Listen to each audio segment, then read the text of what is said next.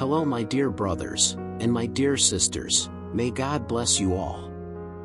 Psalm 6 is one of many psalms attributed to King David, known as a man after God's own heart.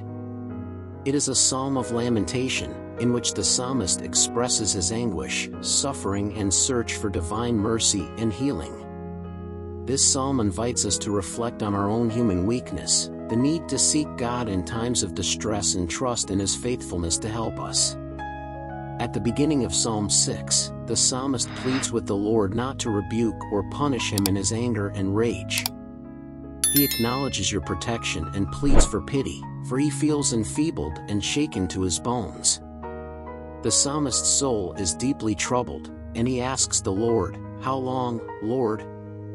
In the midst of his suffering, the psalmist cries out to the Lord to turn to him, heal his soul and save him through his mercy.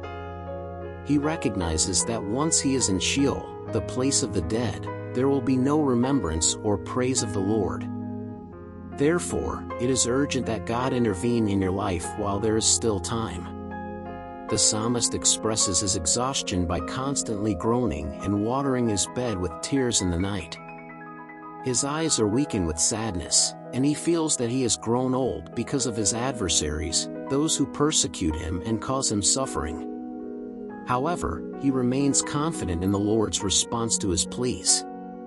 In this moment of despair, the psalmist cries out for all evildoers to depart from him, because he trusts that the Lord has heard his cry and will answer his prayer. He believes that his enemies will be suddenly humbled, shaken, and ashamed, trusting in God's power and justice. Psalm 6 leads us to reflect on the importance of seeking divine mercy and healing in times of distress and despair. Like the psalmist, we can find comfort in approaching God in prayer, expressing our needs and trusting in His faithfulness. As we face our own battles, we can be sure that the Lord hears our pleas and acts on our behalf. Therefore, I invite all brothers and sisters to subscribe to the channel, keep your knowledge in the scriptures and find inspiration and comfort in the words of the Psalms. That we can strengthen our faith, share the hope found in scripture, and grow together in our relationship with God. Let's pray Psalm 6 and then our Father Amen. Lord, do not rebuke me in your anger, nor punish me in your fury. Have mercy on me, Lord, because I am weak, heal me, Lord, for my bones are shaken.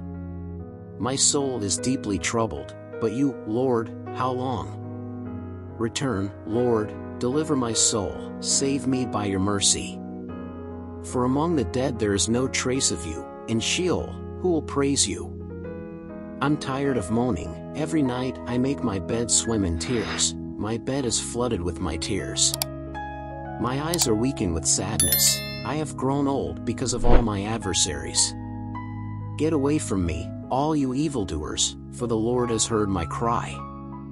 The Lord heard my supplication, the Lord accepts my prayer. All my enemies will be humiliated and shaken, they will recoil and become ashamed all of a sudden. Lord our God and beloved Father, I now enter into your presence so that you may come to bless and transform the lives of these people. I ask you, my God, to providentially intervene in the life of this brother and sister deliver them and keep them from all evil, and bless them, healing all diseases and wounds, depression and fear. Free them from all the snares of the enemy, which may fall to the ground, in the name of the Lord Jesus. I thank you, in the name of the Father, the Son, and the Holy Spirit. Amen. Our Father, who art in heaven, blessed is your name. Thy kingdom come. Thy will be done on earth as it is in heaven. Give us this day our daily bread. And forgive us our debts, as we forgive our debtors. And lead us not into temptation, but deliver us from evil. For thy kingdom and power, honor and glory today, tomorrow, and forevermore. Amen. Glory to God. Psalm 6 invites us to reflect on the soul's journey in search of divine mercy and healing.